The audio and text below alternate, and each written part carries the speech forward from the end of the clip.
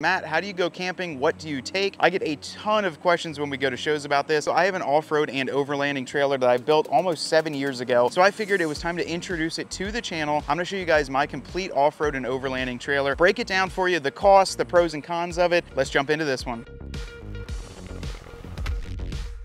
I've been watching YouTube as long as I've been in the Jeep community, so it's been a very long time. As of lately, the time frame of YouTubers that are buying these just ungodly expensive overlanding trailers that are 30, 40, $50,000 and saying, you know, hey, you need this to go out and have a good time. And I'm watching this going, oh my goodness. You know, when I first picked up this trailer, I was a broke college kid and I wanted an off-road trailer. I wanted to do all these cool things to it. So what I ended up doing was just doing a lot of internet research. I, I saw that these trailers were out there, but I actually picked this one up probably about an hour away. It was an older gentleman that owned the trailer. He bought it from the local National Guard unit, I don't know, 10 years out of service. He had the original title for it, and all he used to do with it was tow mulch and haul things around his yard with it. And I think I paid two or 300 bucks for it. I couldn't believe the deal I just got, drove it all the way home, and then dad and I just started working on it that summer that I actually built this thing. I think one of the biggest things I will let you guys know when it comes to the pricing and the budgets of these, I don't have a terrible amount of money into it. I like to go with that KISS method, the keep it simple, stupid, and just make sure that this thing is reliable. It can take me all over the place, but still be comfortable. Here's one of the first things that I'm gonna talk about. This is the Smittybilt XL Overlander tent. Now this one is the XL size, so the platform when it's closed, closes up to a six foot by four foot base. And then when you have it opened up, it opens to eight foot by six foot sleeping area, which is longer than a regular king size mattress. And honestly fits me, my wife, and the dogs up there extremely comfortably. And this is probably the first one that I would say, maybe you don't need to listen to all these guys that say, hey, you need a $7,000 rooftop tent on here. When I bought this five years ago, it was like $1,000. And I gotta tell you, I have not had any issues with it at all. When I tell you I've taken this to shows for the past five years, this ladder has been absolutely abused. I will tell you, no one else is gonna get the amount of abuse on a ladder like I did of people climbing up, looking in, climbing down. I guarantee you a thousand people have climbed up this ladder and it is still holding strong.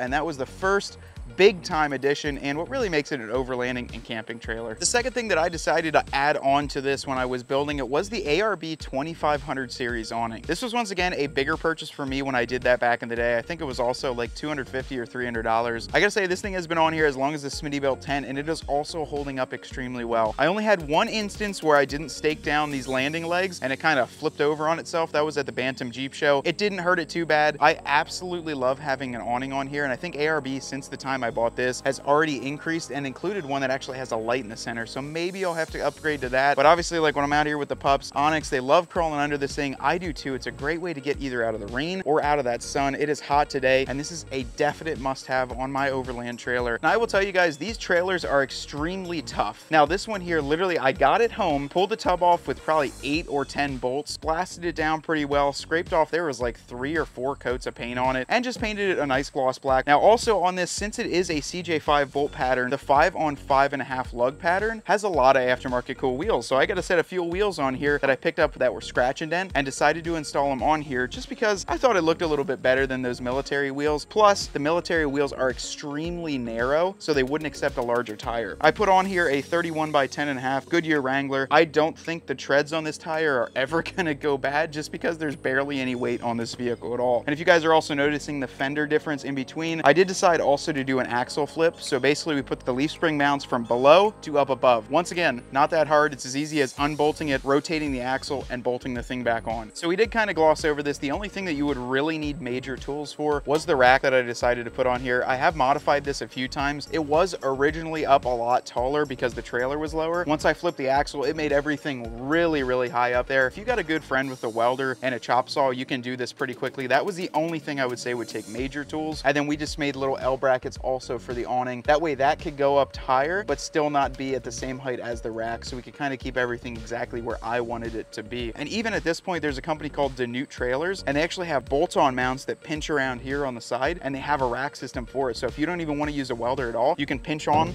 onto the sidewalls here and you have a whole rack set up for you. I will tell you when I was also building this, I got extremely disheartened to see the cost of a lot of these battery management systems that were on a lot of these trailers. So I just decided to kind of do things the way I saw fit. Now inside here, this is a tongue box I did add on to the beginning. This was kind of probably two years into it I added this. I have an Interstate Deep Cycle battery powered by a Noco Genius tender here. Now this is a G3500. What's cool about this is it'll maintain the battery. So the nice thing is that when you're at a campground or you're at a place where you can charge, you can top this off and this smart tender here will completely check, go all the way up to 100% and also just check the mode and go right to it to make sure the battery stays safe and charged. I added a small inverter tucked here in the beginning so you can see I do have two 110 outlets as well as two USBs. That's just a switch right there. That's on Amazon for like 30 bucks. I keep some other things in here like the hub socket. So that's for the hubs if I need to pull those off. And then the coolest thing I have is the trigger system right here. Now this is a wireless switch system. I can reach in there and press the buttons. It's completely fused. But then also on my phone, I have an app and I can use Bluetooth to power everything. But this is a very simple battery box here. I would say all of this together, I might have four or 500 bucks into it. And it does everything I need it to. One of the things I added prior to COVID starting was an onboard water tank. One day while walking around Tractor Supply, I actually noticed one of these ATV sprayers. Now this is a 15 gallon unit that you fill in from the top. And what it's used for is to go on an ATV or an all-terrain vehicle and drive around property and potentially fill it with weed killer, fill it with water to water plants. Also noticed it was $60. It had a built-in pump. It was low voltage because it was built for an ATV and it came with a line and a pressure activated switch. So I thought to myself, you know what? This is just a simple barb on the end. I can add a three quarter for a regular hose, plumb it up to this. So I'll press my number one button.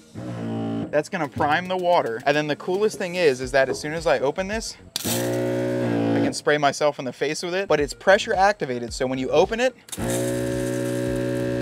pump starts and then when you close it it does shut off. I actually have it mounted up into here permanently and i can fill up 15 gallons worth of water into here to use for showers to use for cleaning up at camp. So another thing if you're at a campsite and you need hot water I decided to add one of these in. I keep it in a blue tote, so I know this is my hot water kit. This is an Eccotemp unit that basically I just hang up it has a nice shower handle on there as well. All this needs for it is that onboard water and a propane line hookup, which I carry two five pound tanks with me when I go and they last absolutely forever. So this is really cool. I added this one during COVID because a lot of the state parks, they were open for camping, but none of the facilities were open. So you couldn't go in and take a shower. You couldn't do anything inside there. And I was like, I want hot water. I want to rinse off. I'm sweating all day. And I get a lot of weird looks when I'm standing out there kind of in my swim trunks, giving myself a shower with my uh, onboard heater. Now I can leave links down below below for all the parts that I have onto this. But what I'm gonna tell you is that to budget out a trailer like this, I would say I have about four or $5,000 into this complete trailer. That includes the cost of the trailer, all the tires, the wheels, the jacks, everything that you see here. I would say budget yourself at about the four to $5,000 point. Now, the biggest variable is the trailer. How finished do you want it? How nice do you need to start the base with? Or are you